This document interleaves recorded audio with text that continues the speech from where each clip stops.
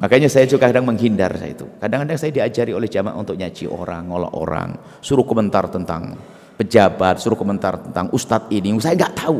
Suruh komentar tentang artis. Wah, saya kapan ketemu artis kalau saya ngomong, salah ngomong.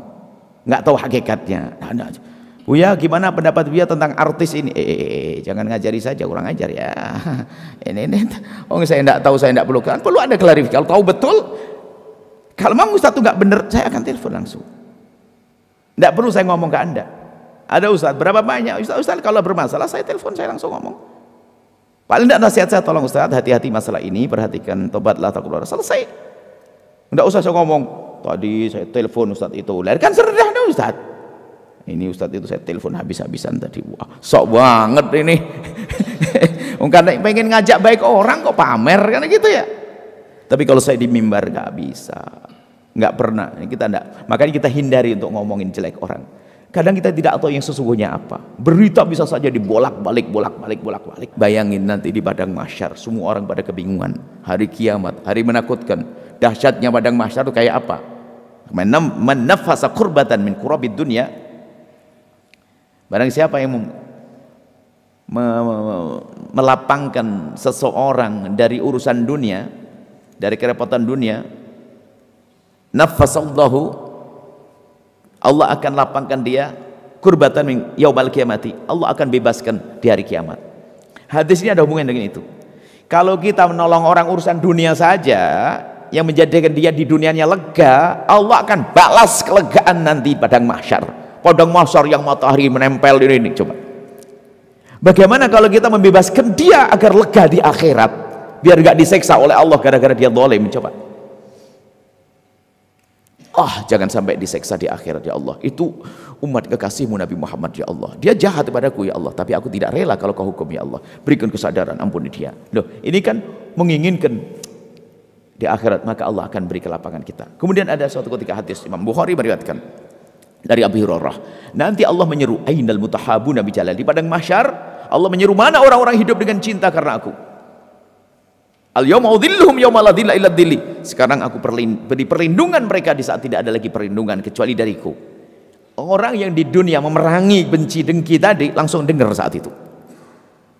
Langsung dengar tiba-tiba berkumpul. Semoga kita kumpul di situ. Oh, kita dengar karena kita berlatih mencintai. Ada benci tapi kita perangi itu selamat dia kumpul. Setelah kumpul Allah berfirman, sekarang aku beri perlindungan yang tidak ada lagi perlindungan kecuali diriku. Yang katanya padang mahsyar mengerikan, tidak lagi mengerikan. Yang katanya disebutkan padang mahsyar, Al-Quran menyebut sampai 50 ribu, apa Nabi menyebut 50 ribu, ribuan tahun di padang mahsyar. Ternyata bagi orang-orang yang seperti tadi itu, melewati padang mahsyar mabainad duhri wal asri seperti antara waktu duhur dengan asar. Disuruh menuncur ke surga, surga seperti kilat.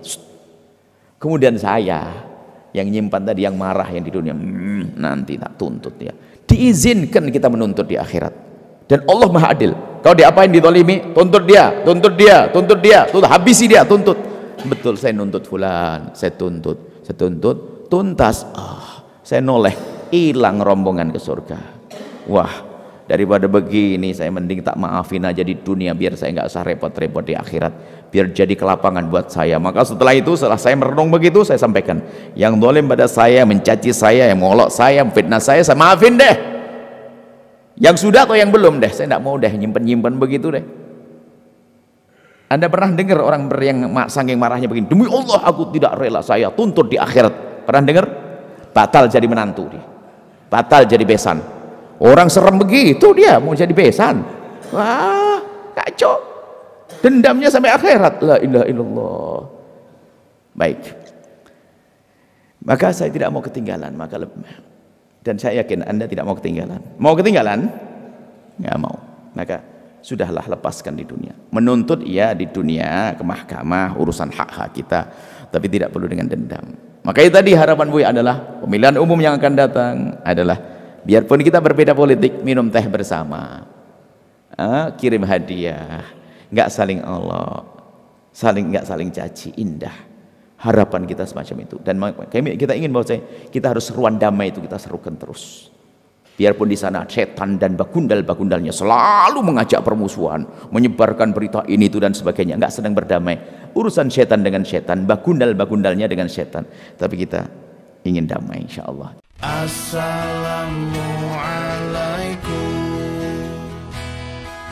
Bersama saling sapa TV